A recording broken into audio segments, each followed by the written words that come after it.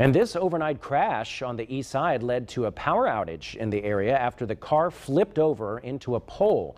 This was just after midnight. We're told the driver was going down English Avenue near Emerson when he swerved to avoid another car, actually clipped that other car and then flipped, landing the car on its side into the pole.